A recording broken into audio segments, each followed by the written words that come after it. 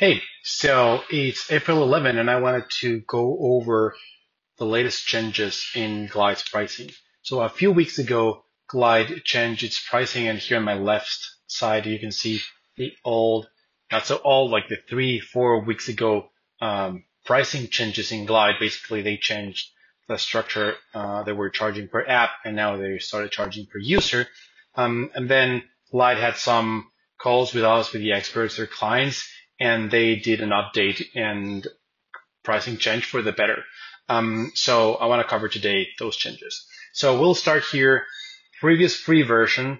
Um, so data source was your glide tables. On the new pricing page, you can either use glide tables, but you can also import your data. So that's uh, something better than before, right? Um, and then you get like components, uh, the normal stuff, the normal basic stuff. You can only have one app, two editors. Uh, the cool thing about here, um, same as before, is that you don't need updates. Updates don't count because you're using uh, glide tables. So updates only count when you're using other data sources. Um, and again, you also have 10 personal users. So free is just, uh, it's not a freemium officially, but it's just for you to get started and feel uh, the product.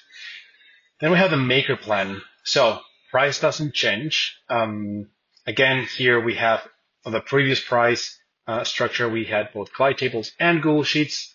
Nowadays, we have Glide tables, Google Sheets, plus ability for you to import your data. Nowadays, you get um, custom domains and branding, so that is important because here, since you have unlimited personal users, and that means that anyone with their personal email, their Gmail, their Yahoo, their Hotmail, will be able to log in, as well as um, educational users, so students and faculty members. Um, so you can make like a mini SaaS, you can make an app that has thousands of users on the Maker plan. Um, here, the limit is 500 updates, but again, remember, if you're building using glide tables, updates don't count. So I actually don't even count updates here because you should be building using glide tables. Glide tables are super powerful.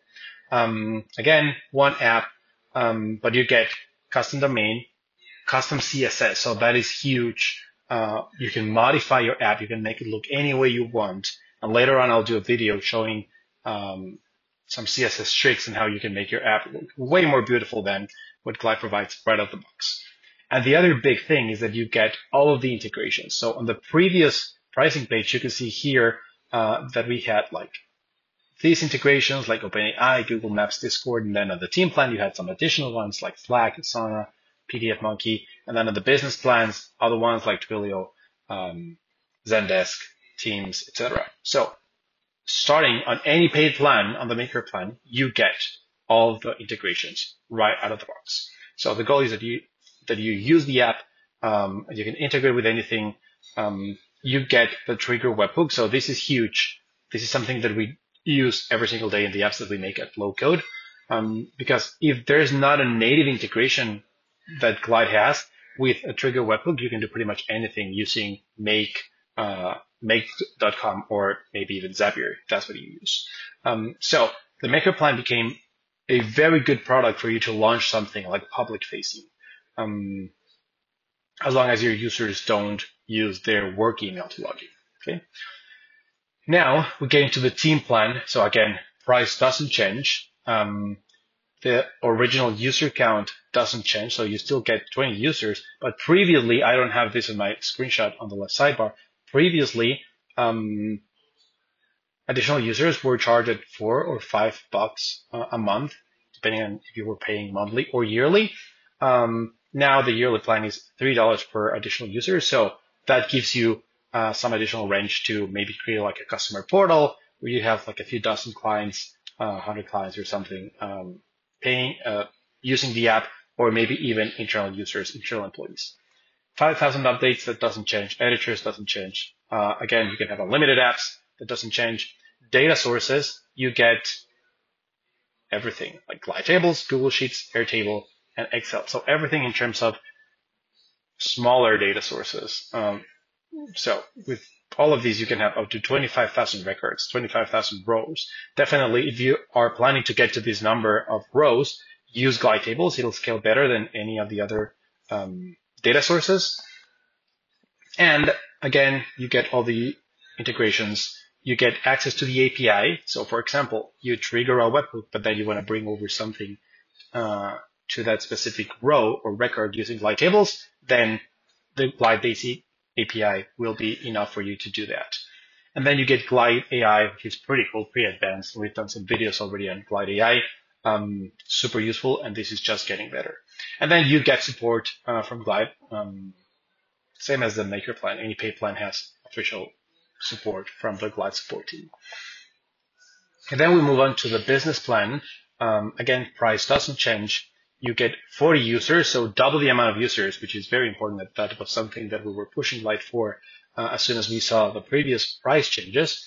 Um, and then also additional users are cheaper than before. I think they were like seven and eight monthly or yearly, um, or six to eight, and now they're like five on the yearly and six on the um, monthly plan, right? You get 10,000 updates, 10 editors, um, and unlimited apps. The important thing, again, with the updates, use your glide tables as much as possible. Another important thing here on the business plan is that you get like more traditional, super robust data sources. That means Glide Big Tables, PostgreSQL, MySQL, SQL Server, uh, Google BigQuery, etc. So the business plan, you can really scale your app. And this is when it starts making sense to analyze what you're trying to build, how your business works. Because sometimes the way we build apps in low code is we will build some things using like normal glide tables and if you're creating like a log and you have like a table where you expect hundreds of thousands of records, um, then we'll use either a glide table or a SQL database to store those things. It's important to note that SQL tables like uh, glide big tables and the other data sources, the, the more robust data sources don't work exactly the same as glide tables and, and Google Sheets in Airtable. So it's important to figure out what is the best way to build your app and how to use the backend. Now you get call API, so you do pretty much anything in terms of the API. You get 10 million rows in Bigtable and SQL data sources, so you can scale massively. There's no limit here. You get um, an advanced API, so you can pull and push any kind of data from your backend into any other software or uh, any other data that you have outside into Glide. Um, and then as an additional paid, paid, paid add-on, you get uh, single sign-on, you get priority support, um, and personalized onboarding. I think these don't change. Um, this is probably the best plan for businesses um, that are scaling either in terms of users, in terms of data. Then something pretty good is that we get enterprise plan. So in the previous plan, you had to conduct support. Right here, you can see like enterprise plan starts at a thousand bucks a month, uh, billed yearly. And then it depends on what you need. We have some customers that need a few thousand users, uh, some customers that need multiple editors, some customers that need a lot of um, updates because they're using multiple data sources. Um, so this is custom based on your needs, but it's good to have the enterprise plan here, and you can see right away if this is something um, that makes sense and has an ROI for your business. Uh, you also get an account manager here and like a very close relationship with Glide, pretty much defining where the product roadmap is going.